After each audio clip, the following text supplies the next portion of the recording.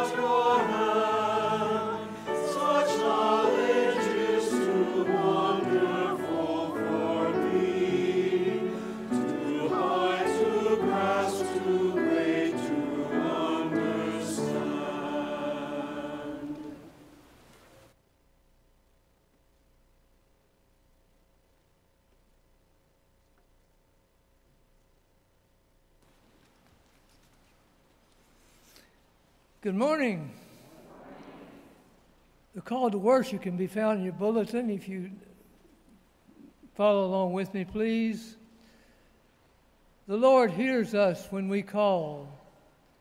Come, let us put our trust in God. The Lord fills our hearts with gladness.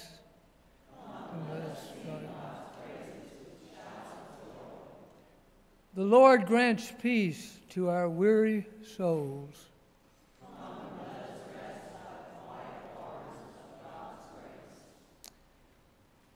Please stand if you're able to sing now hymn number 491. Stand up and bless the Lord.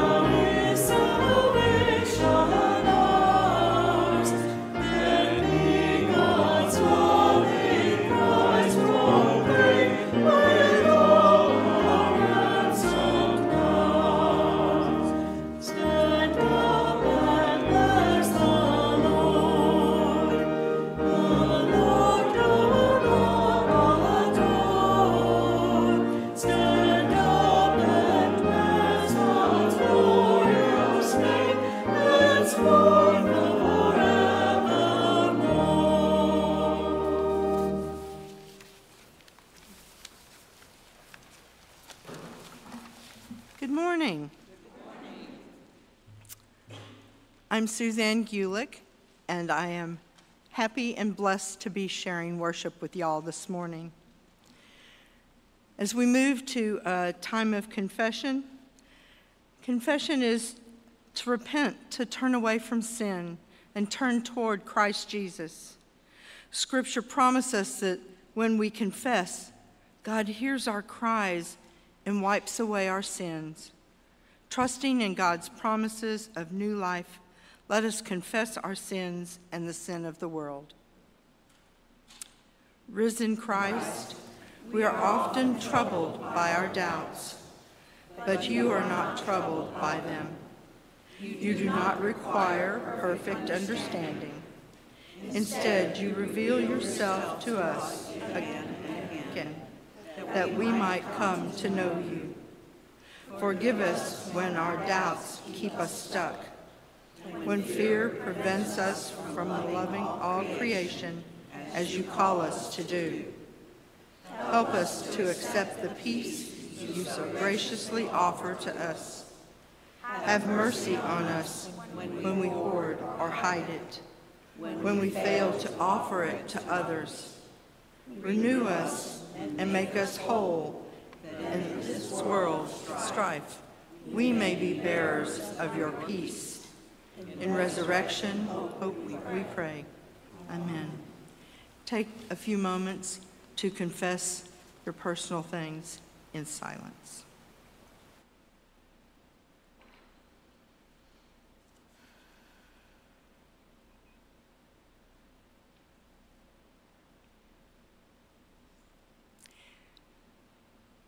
See what love the Father has given us, that we should be called the children of God, and that is what we are. Children of God, claimed by God, forgiven of our sins, and set free. Alleluia. In Jesus Christ, we are forgiven.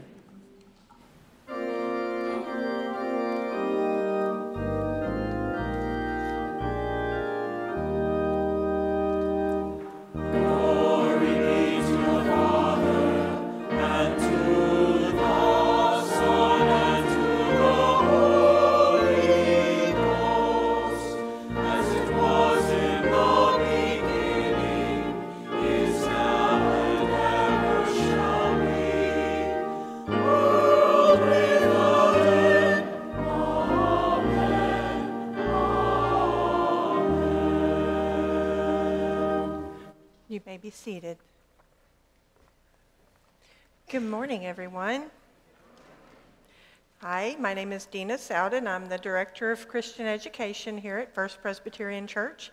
It's my pleasure to welcome those of you who are worshiping here with us in person and those of you who are worshiping with us online. Uh, if you are online and you have not yet uh, gone out to fpcconroe.org, there you will find our uh, weekly announcements and wel- uh, weekly order of worship and our weekly announcements for the things that are going on in the life of the church. I have a few things to remind us of. I have a sticky note from Mr. Mark over here. I'm just going to leave right there, just to make sure that he remembers some important things. Just want to make sure that you mark your calendars, please. Uh, April 21st, we were going to have our memorial library dedication, and our library committee did such an amazing job on that library. If you have not had an opportunity to go in there yet, it's beautiful. It's, uh, I encourage you to stop by there. But we will have a dedication to the library in honor of um, uh, Patricia Izell and uh, during the 11 o'clock service, and we will have a reception after the 11 o'clock service and an open house tour of the library at that time. It is open, it is available to have books checked out, so I encourage you all to come by that day and check, uh, check out the amazing work that our library committee did. It was just absolutely beautiful. The only other thing I want to make sure that you um, have on your calendar is uh, the great canine follicle debacle. And if you're curious about the characters that we have uh, on the welcome desk out here, Officer uh, Josh Broussard is uh, guarding them for me. But there, it's the description of the characters. We have multiple characters, and what we're going to do it a little bit differently this year. Instead of an individual being the character, we will have tables set up, and each table will represent a character in the mystery. And so this will give an opportunity for you all to get your teams together. I know how competitive we are, so encourage your friends. You can, the tables are set up for eight. We can squeeze 10 people in there. Um, if you you really want to get comfortable, we could squeeze 12 people per table. But just uh, get your teams together. Decide if you want to go ahead and look at the characters that are there. If you want to let me know if you have a particular character that you speaks to you, it's your it's your um, what do we, your spirit animal. Yeah, uh, uh, let me know, and I'll be happy to assign that character character to your table. But it's going to be a lot of fun. It's going to be great food. It's going to be great fellowship. And I apologize, it does say I'm offering pre sale tickets. I don't have any tickets. I do take money though. So if you want to pre sell, prepay for your dinner, uh, you can catch me either, you can email me, you can pay online and just let me know that you've done so. Uh, you can catch me after the service, before the service, and um, we're more than happy to take your money. And if you're not able to make it to the dinner, we're more than happy to still take your money. You can always make a donation. So, and with that, Mr. Mark, I believe you have a few words to say. Thank you. Thank you. I know y'all are tired of seeing me, but, uh, so I- I'm, I'm going to surprise you. Many of you may not know that I am bilingual. I am. I speak reasonably good English, but I am fluent in Texan. So in Texan, who don't love a good who done it? Right? So um, I want to talk a little bit about why we do some of the things that we do. So you guys know that this is our major fundraiser of the year, this and the chili cook-off, to help us offset expenses for our mission trips, for our meals at the Spark, for outings with our youth, for the things that just help grow our children in Christ. And you've heard me say it before many times. We go on these mission trips to change other people's lives, and we do. But what happens in the meantime is it changes us in some very deep and profound ways. Some years ago, I was in Crown Point, New Mexico on the Navajo reservation there. That is a level of poverty that perhaps some of us will never understand. The family that we went to help lived in the middle of nowhere. In order to get a cell phone signal, there was one spot in the desert that you could walk so many paces and you could stand there. If you moved, you lost the signal. I know because I did it. His family had three children, young, living in, all you can say, a squalor. And we were helping to put a roof on their house because their roof leaked. But what I saw out of those little children the whole week we were there was nothing but smiles. They played with us, they laughed with us. And I know that it had a real impact on the youth that went because it made them realize how incredibly blessed we are. That we live in a bubble. We don't have to live the way many people do without electricity, some of them without food. A couple of years ago, we were in Oklahoma City in a food desert.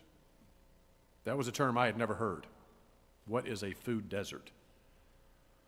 Well, the nearest grocery store to this particular community was a 20 minute drive away. No big deal, you say. They didn't have a car. Nobody in the community owned a car. It was three hours by bus. You can't buy milk. You can't buy meat. You can't buy anything perishable because by the time you get home, it's spoiled. We went to help build a garden for them so that they could grow their own produce. These are the things that I wish that you could see what we see when we take these young people out, how adaptive they are. We were on our way to Knoxville, Tennessee, in the epic event of two nights of broken down buses, and it was a blast. The kids adapted. We got there, we did all the work that was required of us to do and more. And I just want you to know how, how much we appreciate you.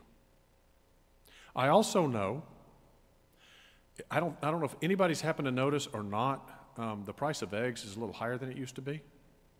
Anybody notice that? So if you can't give a thing, I don't care. Come. Enjoy it with us. Have dinner with us. Enjoy the fellowship. If you can give, we greatly appreciate you.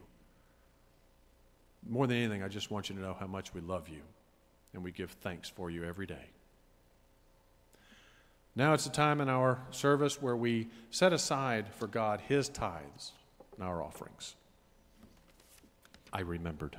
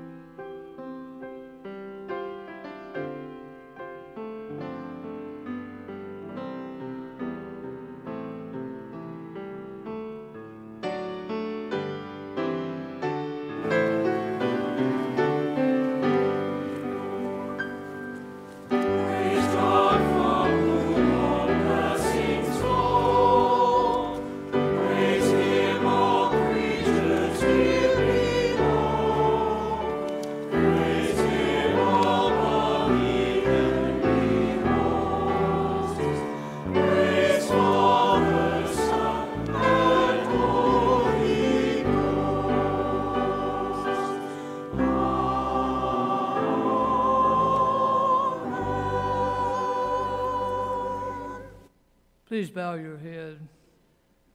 Our Heavenly Father, we're thankful for all the good that you allow us to have. We're thankful for First Presbyterian Church, for the people who are here, and for the goodness that they create. Guide, lead, and direct us. Make us better Christians each day. Forgive us our, our sins. In Jesus' name we pray. Amen.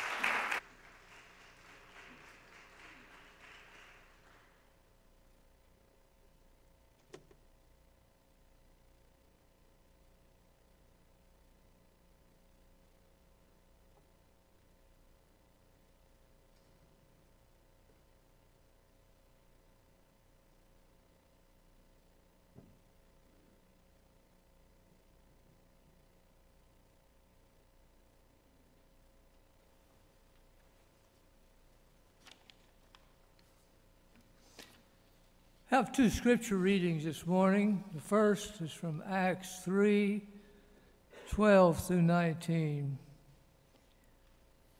When Peter saw it, he addressed the people Fellow Israelites, why do you wonder at this? Or why do you stare at us as though our own power or piety we have made we have had made him walk?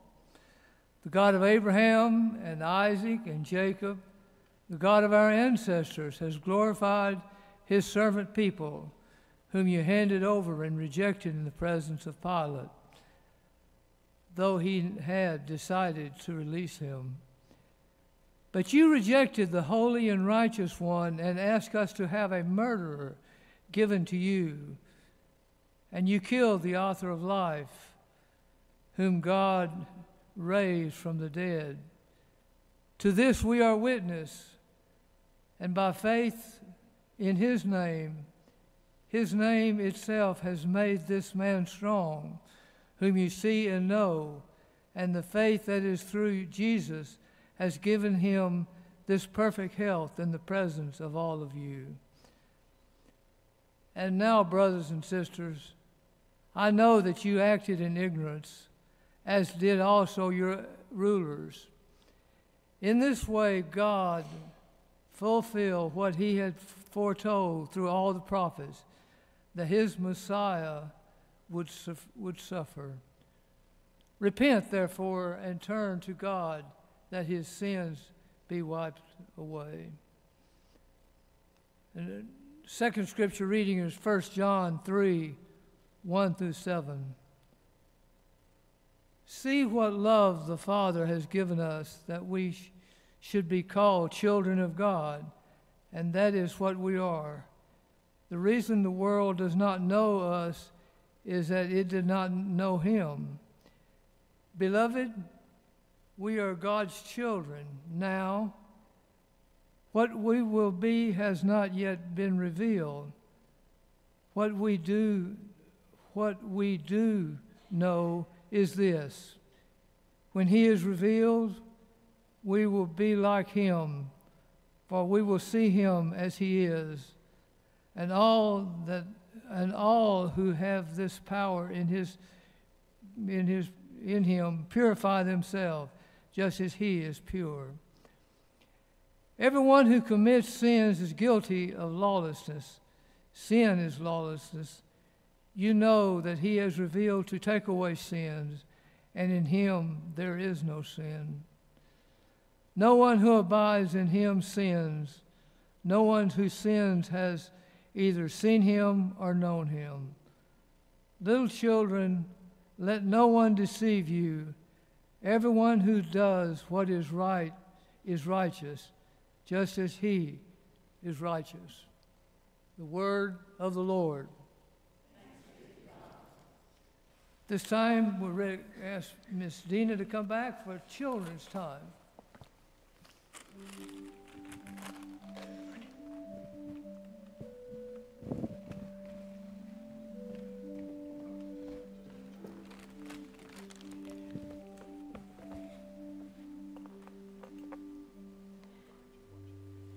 Good morning. Hi there. Come on up here. Good morning. Good morning. I feel like I'm back in eighth grade with all these books. Hold them there. All right. Good morning. Hi. Hi. I have, so, if I were to tell you all that I have a ball in this bag, how sure are you that there is a ball in this bag? Fairly sure? It's a better answer than I expected from my own child. What's that, Dylan? Mere words alone cannot convince me. I agree with him on that one. Hmm, these two know me. All right. They, they're not so sure that there is a ball in the bag. So, Haley, can you feel the bag? Can you feel You squish it. Give it a good squish. Now, if do you think there's a ball in the bag? Squish it again. You think there's a ball in the bag? Just by feeling it, you think there's a ball in the bag? Okay, well, I think it's a hard ball. You think it's a hard ball? I'm going to let you in on a secret. What do you think? You think there's a ball in the bag? Yeah. Yeah. All right, so Jocelyn says there's a ball in the bag. Are you going to take her word for it? Yeah. Because she looks very sweet and innocent, right? So, the reason I'm talking about this is I know that you all remember we just had Easter, or celebrated Easter a couple of weeks ago. And during that time, we learned about the uh, arrest of Jesus and the crucifixion and the resurrection of Jesus, right? And that's the day that we celebrate Easter because Jesus is risen, right? But what happens after that? Well, I'm glad you asked, Miss Jocelyn. So after that, the disciples had just witnessed Jesus being arrested, and he hadn't done anything wrong. Even Pilate said, I have find no fault in this man. But the people said, Arrest him anyway. And so they did, and they crucified him for nothing, for being a good person. And so his disciples who had been following him were scared and they were all hiding. They went in this room, in this attic, basically, and they were hiding and they were scared that they might be arrested next. But you know what happened? Jesus appeared in front of them in this locked room where they were. At first, they were a little bit scared because they thought he was a ghost, but then he revealed himself to them. And he said, Do you have something to eat? I'm hungry. And so they gave him some food. And when's the last time you ever saw a ghost need some food? Ghosts don't eat food, do they? No. So they, they realized that the risen Jesus was with them in the room there with them. However, there was one that was not in the room there with him. His name was Thomas. And even though his disciples, Jesus' disciples, whom Thomas had been with for years, he knew them. He had even heard from Jesus' own words, own mouth, what was going to happen to him. Thomas still didn't believe, even when the disciples said, He was right here in the room with us. He didn't believe them. He said, In fact, I'm not going to believe until I can see him with my own two eyes, and I can put my hand in the holes in his wound, and then I'll know that he is Jesus. Well, of course, as Jesus does, he did appear again. And this time Thomas was there, and this time Thomas was able to verify with his own two eyes and by touching him that this was the risen Jesus. And after that, they all had the confidence and the strength and the assurance that Jesus would do what he said he was going to do. And they were out in the streets and they were preaching God's word and they were preaching about Jesus' promise and everything.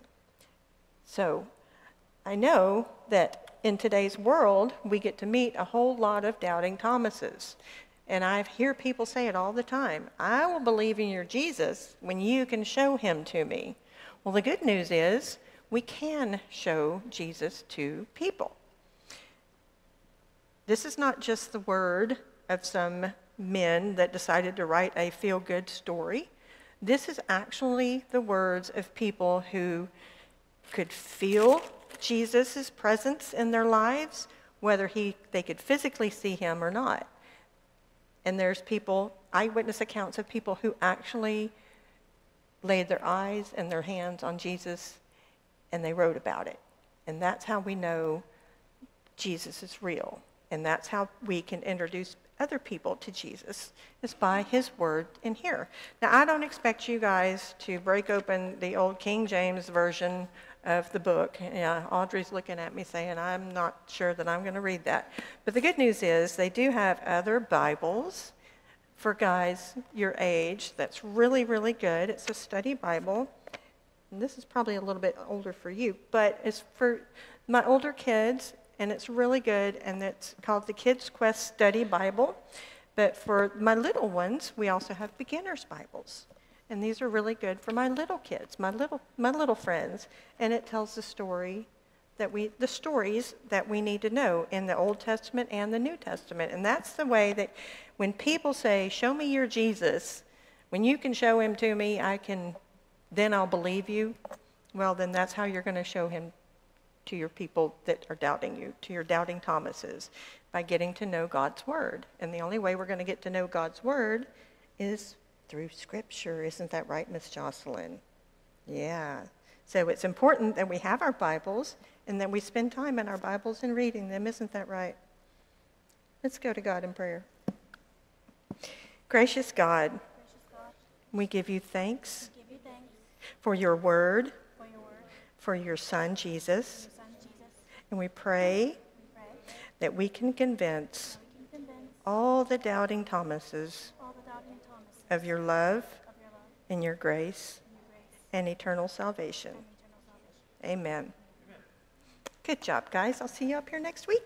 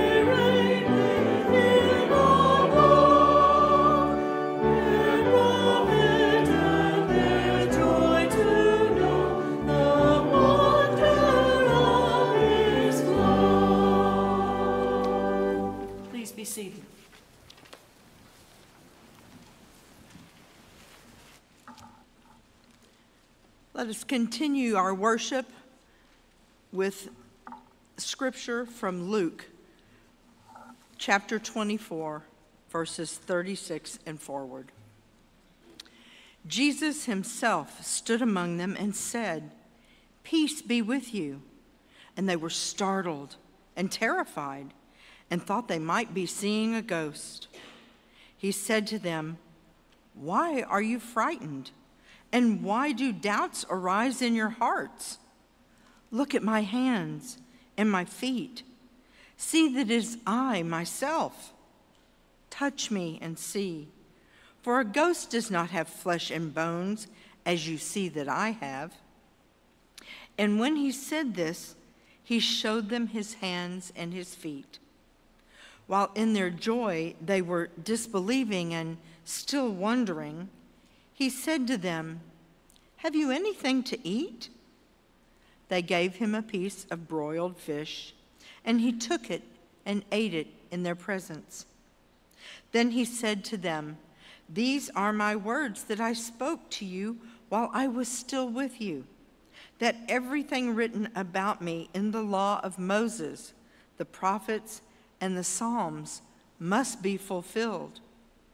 Then he opened their minds to understand the scriptures. And he said to them, Thus it is written that the Messiah is to suffer and to rise from the dead on the third day, and that repentance and forgiveness of sins is to be proclaimed in his name to all nations, beginning from Jerusalem. You are witnesses to these things. This is the word of the Lord. I am quite happy to be with y'all, and I want to apologize up front. I've been traveling, so I'm a little hoarse, so hang with me. Let's go to the Lord in prayer. Gracious and loving Lord, open our hearts and our minds that we may in some way grasp the significance of your sacrificial saving grace for we, the undeserving sinners. Jesus, this morning I also ask you to grant me the words to touch our spirits with the message you desire for each of us to hear. Amen. Good morning again. For those of you who don't know me, I'm Suzanne Gulick. I'm an ordained Presbyterian minister of Word and Sacrament, and I am a recently retired trauma chaplain from Texas Children's Hospital in the Medical Center. And I am happy to be worshiping with you this morning. When we looked at our scriptures for today, so many things flew through my mind. There were so many important life altering messages presented all at the same time, all being demonstrated in ordinary, plain, and relatable situations. I started my study for this lesson and these sermons by reading a reflection by the Reverend Dr. Jill Duffield. Reverend Duffield is one of my favorite, all time favorite authors and practical Presbyterians. She has a way of taking even the most difficult topics and theological teachings and bringing them straight down to relatable ideas and situations so vital to the practice of our daily faith and walk with Jesus. Reverend Duffield begins her discussion of these passages with the tale of a little girl and her mother's continual admonitions with a recurring phrase.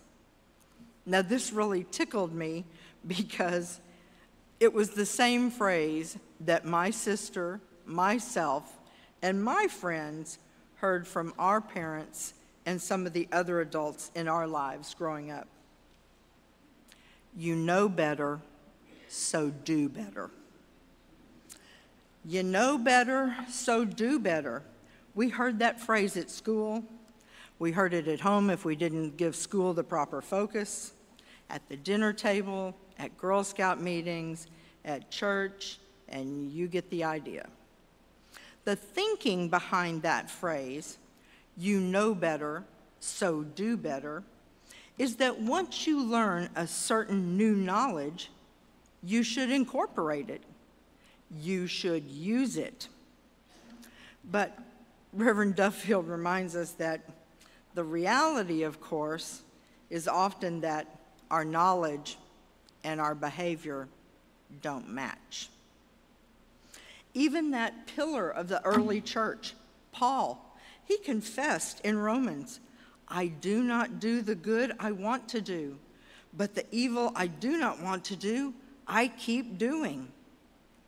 Knowing, even wanting to do what is right and good, doesn't necessarily mean we actually do it.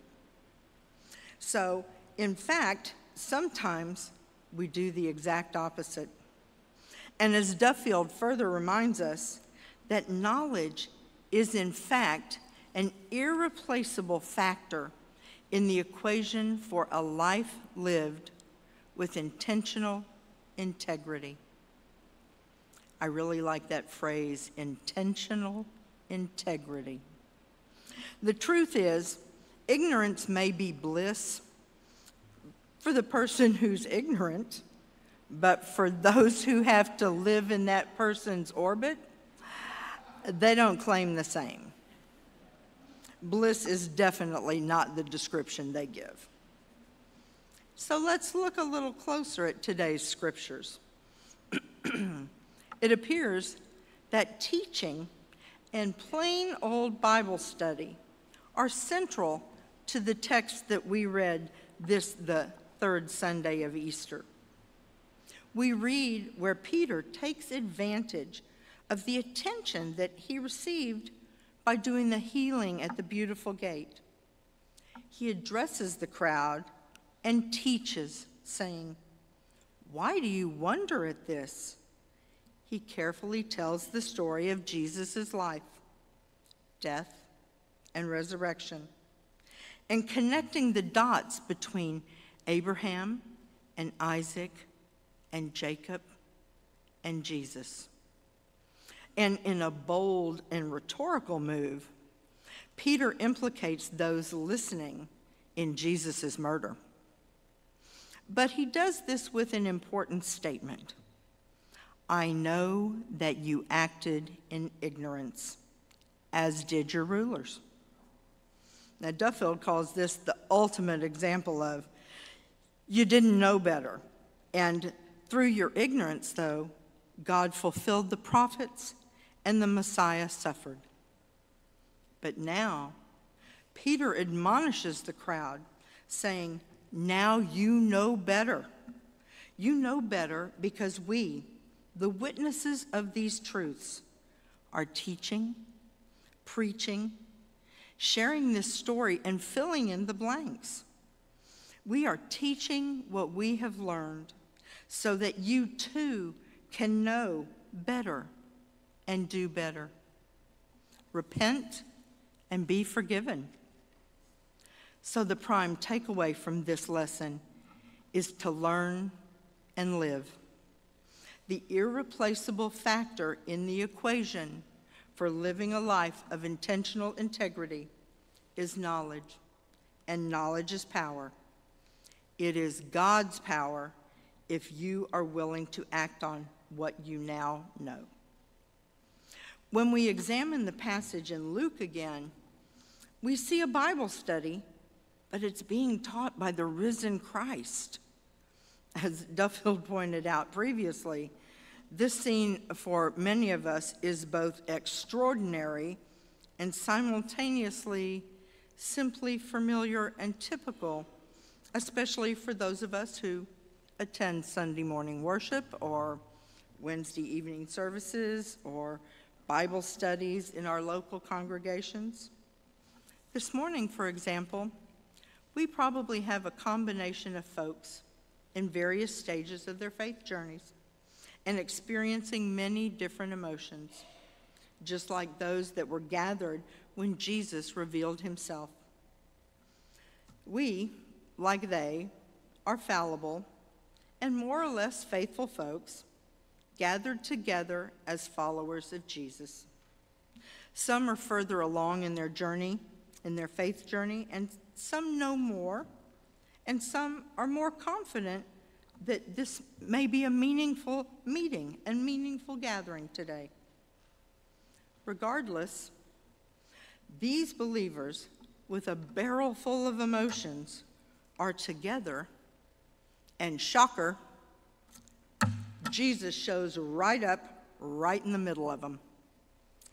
Jesus tells them not to be afraid, and he offers his peace. He invited them to touch his hands and his feet so that they could understand that he was real and really the risen Christ. And then, and then he asked for something to eat, clearly because ghosts don't eat. So clearly, church gatherings and food have gone together since the beginning. Presbyterian potlucks have deep roots. Who knew? But Duffield declares Bible study and table fellowship go together. Scripture and snacks are virtually inseparable because spiritual and physical nourishment go hand in hand.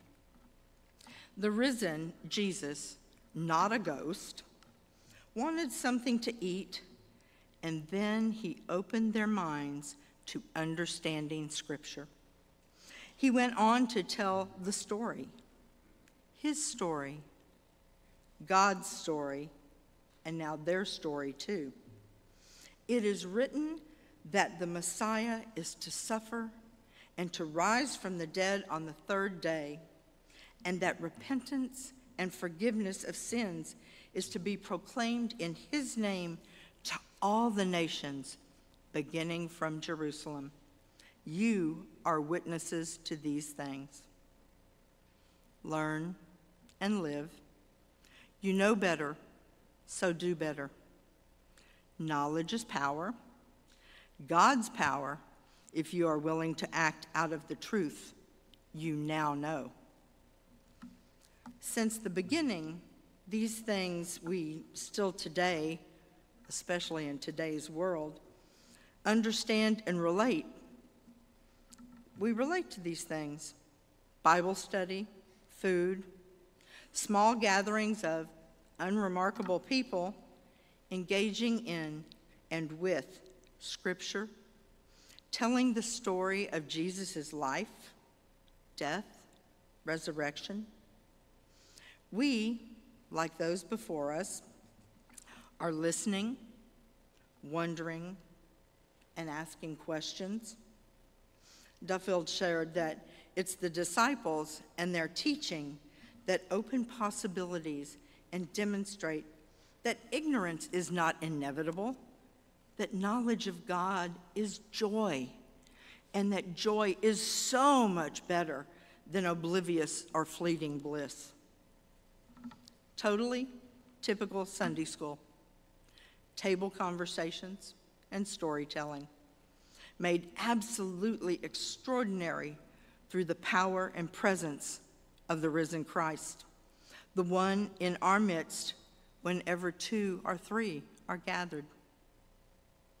So, Peter and the writer of 1 John and the living risen Christ, our Lord, exhort us learn and live.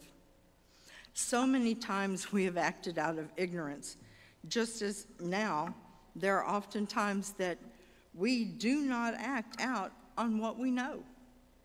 We're like Paul. We do the very things we hate again and again. But now there is a difference. We know this. The life, the death, the resurrection of Christ enables us to have repentance and forgiveness of sins.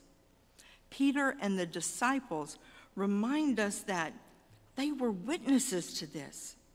They know it by heart, in their hearts, and they were able to experience that amazing grace firsthand. and because they know that they are called to proclaim the truth, others can learn and live too. It's through Jesus Christ and the words of 1 John that we learn. Beloved, we are God's children now. What will be has not yet been revealed. What we do know is this when he is revealed, we will be like him, for we will see him as he is. Live, learn, live.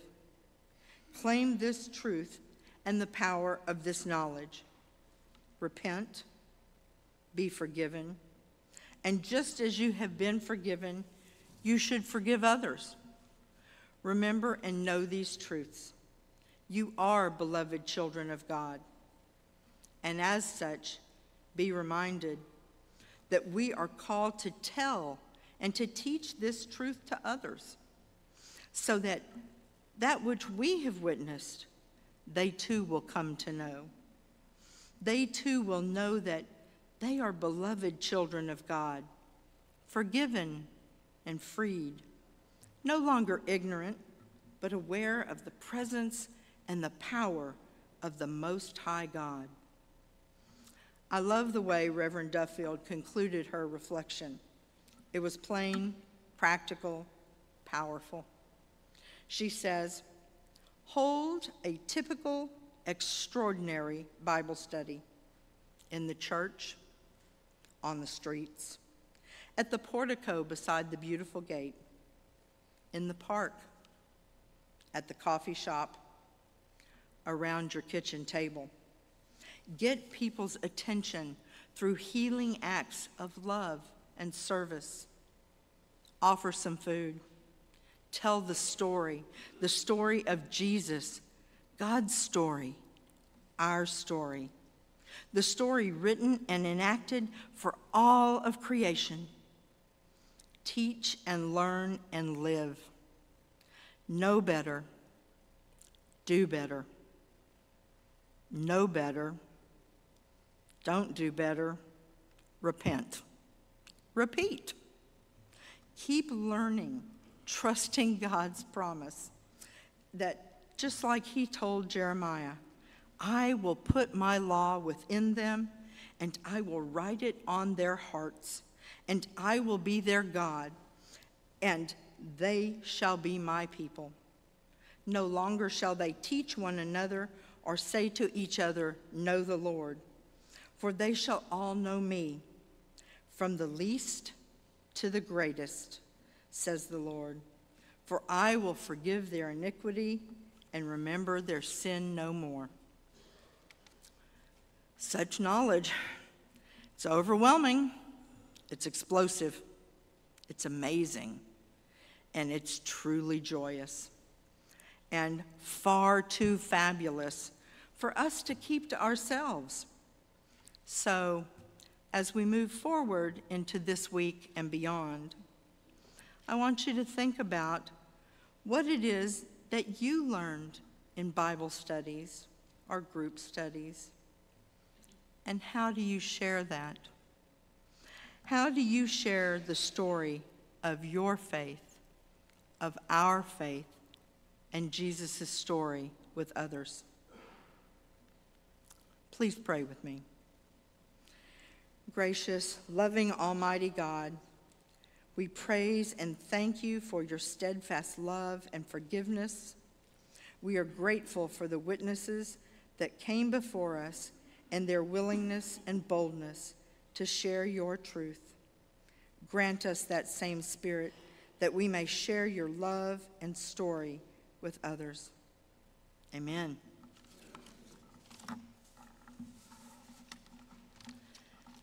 We are going to move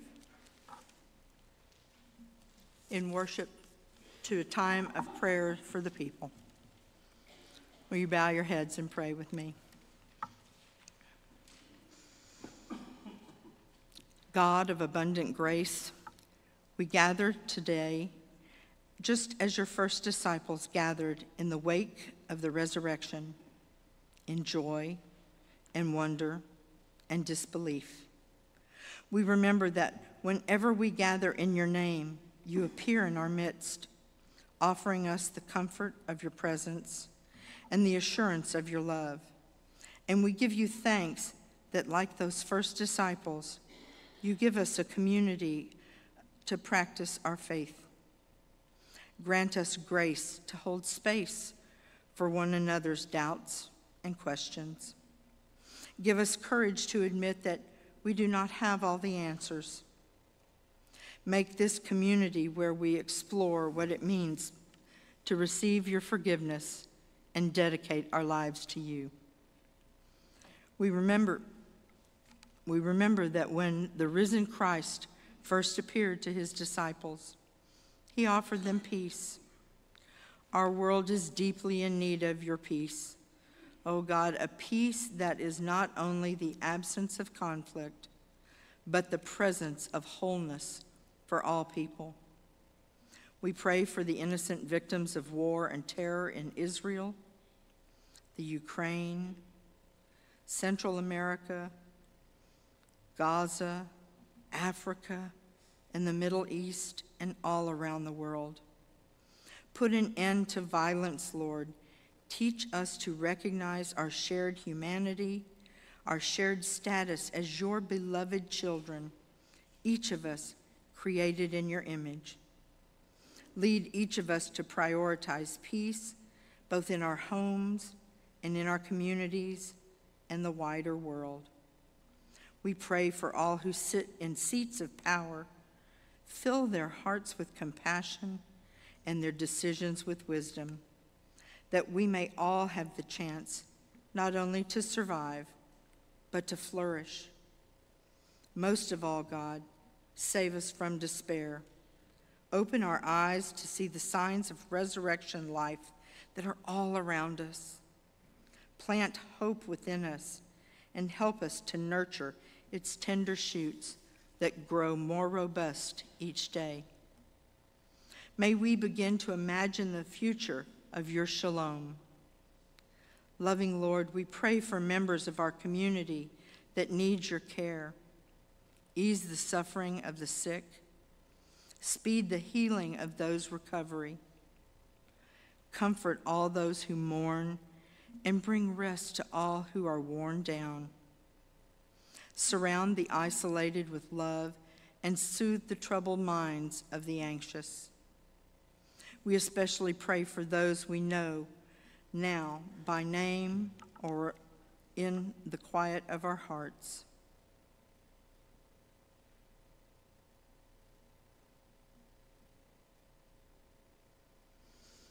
Lord of life, remind us of our call to love one another as you have loved us, with a love that casts out fear and creates community.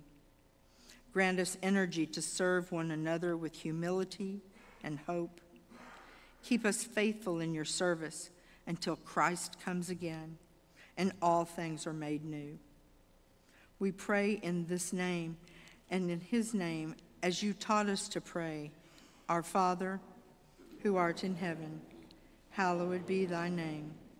Thy kingdom come, thy will be done, on earth as it is in heaven. Give us this day our daily bread, and forgive us our debts as we forgive our debtors. And lead us not into temptation, but deliver us from evil. For thine is the kingdom, and the power, and the glory forever. Amen.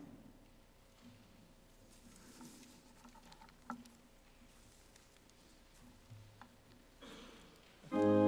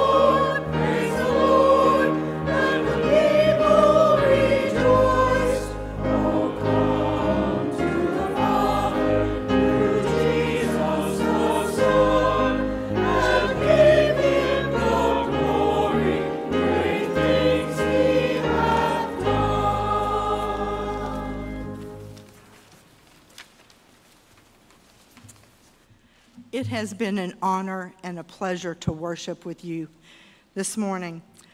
I want to close by a very old benediction from Teresa of Avila. As you go out from this place, remember that Christ has no body but yours, no hands, no feet on earth but yours. Yours are the eyes with which he looks compassion on this world. Yours are the feet with which he walks to do good. Yours are the hands with which he blesses all the world. Yours are the hands, yours are the feet, yours are the eyes. You are his body. Christ has no body now on earth but yours. Together, we are the resurrected body of Christ in the world.